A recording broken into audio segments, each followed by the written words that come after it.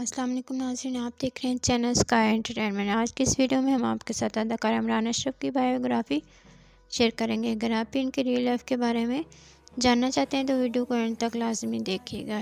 तो नाजरीन, हम बात कर रहे थे अदाकार इमरान अशरफ की। अदाकार Imran Ashraf eleven December nineteen eighty nine को पशावर में पैदा हुए। इस वक्त इनकी एज थर्टी फोर ईयर्स हो चुकी है।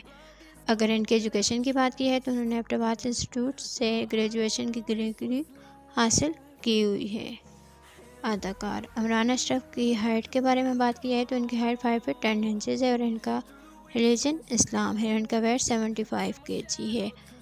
अदाकार इमरान अशरफ की फैमिली के बारे में बात करें तो इनका ताल्लुक वेल एजुकेटेड फैमिली से है। इनकी फैमिली इस वक्त इस्लामाबाद में रिहाइश पजीर है। अदाकार इमरान अशरफ की फैमिली में से इनके छोटे भाई अब्बास अशरफ का तलब शोबिस से है, जो कि कई कामयाब ड्रामों में सपोर्टिंग रोल करते हुए दिखाई दे चुके हैं।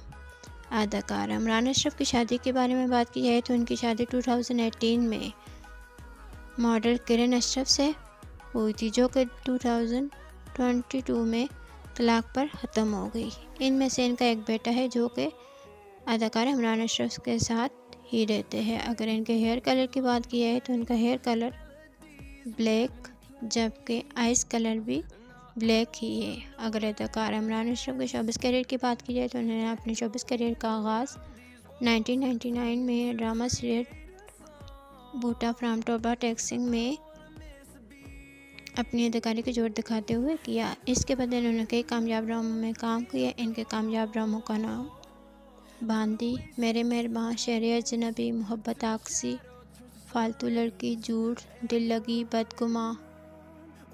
खुदा मेरा भी है, दिल मोम का दिया अलिफ अल्लाह और इंसान। कहीं दीप चले और आजकल ये ड्रामा सिर, नमक हराम में भी अपनी अदाकारी के ज़ोर दिखाते हुए नज़र आ रहे हैं। हैं तो नाजरीन, ये थी मेरी आज की वीडियो। अगर वीडियो पसंद है तो लाइक, शेयर एंड चैनल को सब्सक्राइब करना ना भूलिएगा। Thanks for watching.